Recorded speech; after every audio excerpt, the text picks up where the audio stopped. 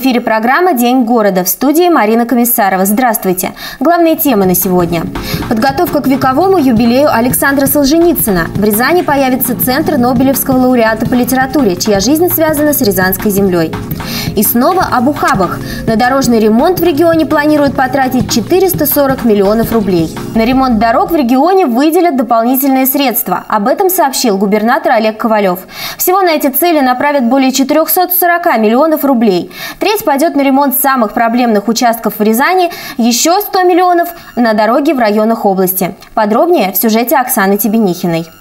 Глава региона отметил, что к нему обратились депутаты Госдумы Российской Федерации Елена Митина и Андрей Красов. Они провели ряд встреч с жителями области, в ходе которых были высказаны просьбы о приведении в порядок автодорог. Предложения рязанцев парламентарии передали губернатору. Мы э, здесь посмотрели с Минфином, посмотрели с э, Минавтодором э, и понимая всю остроту проблемы, нашли возможность выделить э, средства э, на строительство и ремонт э, этих дорог. По словам главы региона, в 2016 году в муниципальное образование будут направлены субсидии из областного бюджета в размере без малого 444 миллионов рублей, в том числе на ремонт 25 самых проблемных участков автотрасс в городе Рязани будет выделено 343 миллиона. Остальные средства будут направлены в другие 28 муниципальных образований. Олег Ковалев поручил до конца текущей недели подготовить соответствующие решения. Контрольные функции за качеством, количеством дорожно-строительных работ передать от Минтранса Минрехбезопасности. Потому что нельзя в одних руках сосредотачивать и э, торги, подряды и так далее, и контроль. Поэтому контроль должен быть вне этого ведомства. Поэтому я прошу, э, Алексей Владимирович, быстро подготовить соответствующие э, корректировки в наши нормативные документы с тем, чтобы обеспечить э, уже как бы законодательно э, вот, это, вот эти передачи этих функций. Губернатор поставил задачу перед Министерством транспорта и автодорог региона организовать проведение подрядчиками строительства и ремонта трасс с обязательным соблюдением установленных сроков и качества. Главам следует организовать выполнение дорожных работ в своих муниципальных образованиях. Для Минавтодора сегодня нет важнее проблемы, и вы попадете под трамвай в первую очередь как руководители – кавычках под трамвай, если будут допускать брак в вашей подрядной организации. Олег Ковалев особо подчеркнул, что обязательным условием получения муниципалитетами субсидий является оперативное завершение разработки проектно-сметной документации. В ходе очередного заседания правительства региона губернатор Олег Ковалев заявил о том, что центр Александра Солженицына будет размещен в Рязанском доме Салтыкова-Щедрина. В настоящее время в Рязанской области, как и во всей стране, ведется активная подготовка к празднованию столетия со дня рождения Александра Исаевича, лауреата Нобелевской премии по литературе, общественного и политического деятеля, который жил и работал в Рязани в течение 12 лет. Рязанская область активно включилась в подготовительную работу к юбилейной дате. В настоящее время разработан и реализуется план основных мероприятий, одним из пунктов которого является создание Центра Солженицына. Планируется, что он войдет в состав Рязанского историко-архитектурного музея-заповедника. Этот центр планируется как центр, э, будем говорить так, выдающихся людей Рязанской области.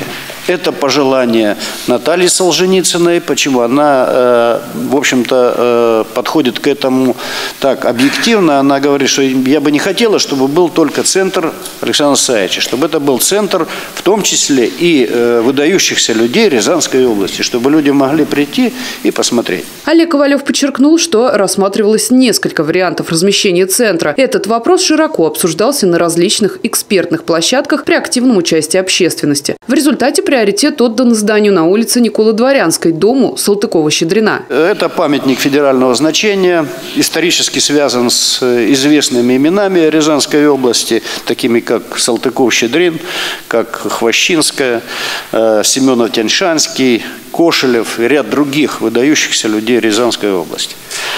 Э, дом расположен удобно в центре города, недалеко будет от нового здания музея.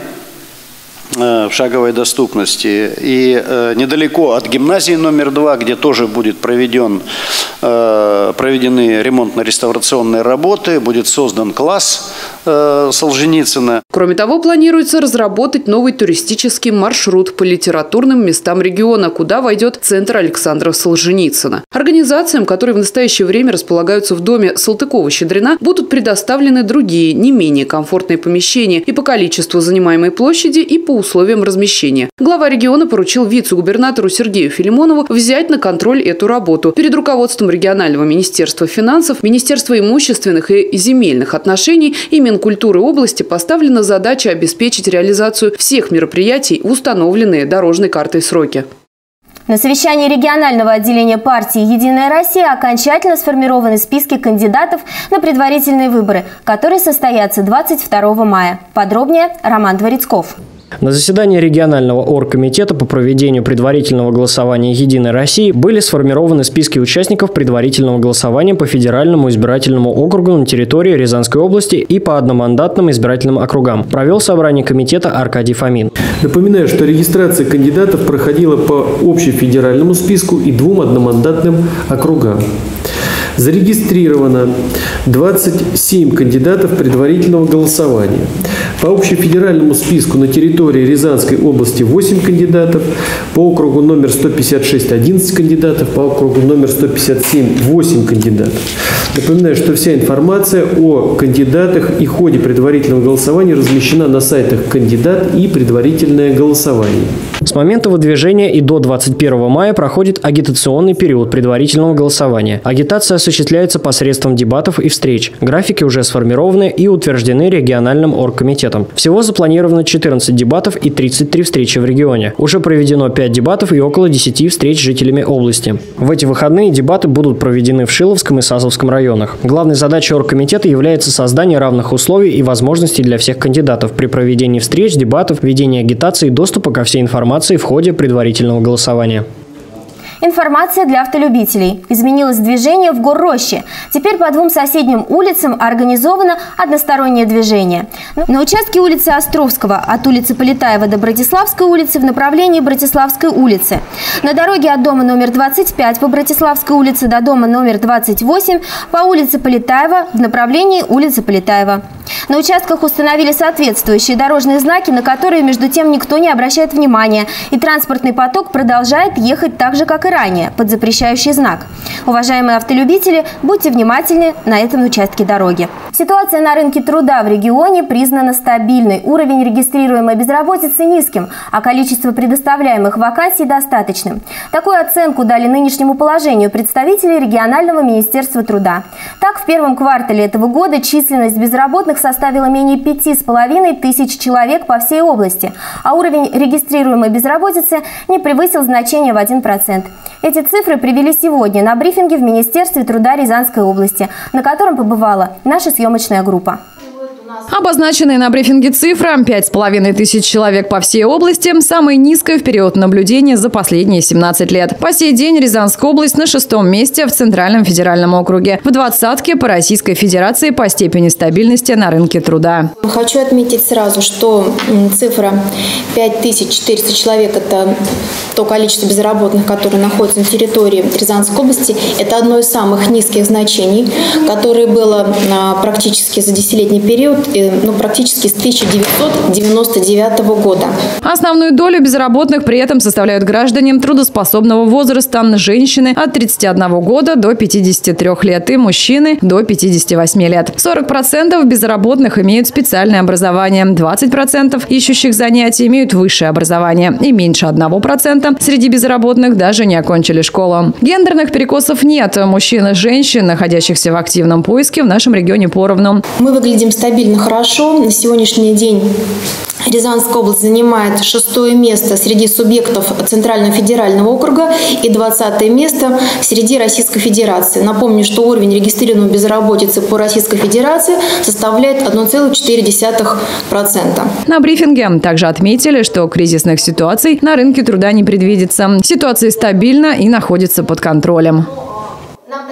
В Рязанском Кремле состоялась презентация клада, который нашли на городище Старая Рязань.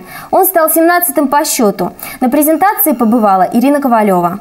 Наконец-то предметы клада, найденного еще в 2013 году на городище Старая Рязань, вернулись с реставрации. В честь этого события в Рязанском историко-архитектурном музее-заповеднике прошла презентация, в ходе которой можно было не только познакомиться с археологическими находками, но и увидеть уникальные кадры, показывающие, каким образом клад доставали из земли. Так что все гости презентации смогли ощутить свою причастность к этому значимому в мире археологии событию. И равнодушно смотреть на то, что происходит сегодня просто невозможно, потому что это не просто 17-й клад, это целая история, которая открывается, когда мы смотрим на эти уникальные предметы. Нужно отметить, что этот клад стоит особняком от всех других кладов, найденных на городище Старая Рязань. И этому несколько причин. Во-первых, он был найден в самой древней части города, на так называемом северном городище. А во-вторых, клад этот прятал не хозяин украшений, а ювелир, который, по всей видимости, накануне взятия города наспех наспех собрал все ценное и укрыл в надежде вернуться и продолжить работу. Вот здесь есть вещи, которые мы принесли в починку. Есть вещи новые, есть недоделанные вещи, есть сырье.